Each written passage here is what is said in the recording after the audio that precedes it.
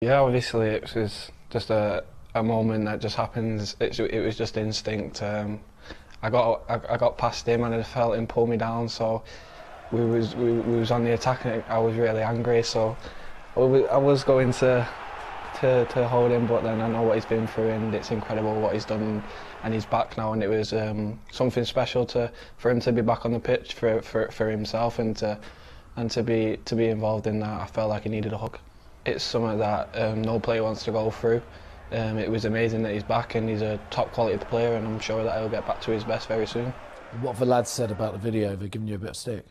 No, they was just asking me about it and did, did I mean it and well, I just said it was instinct and it was just something that I felt was right.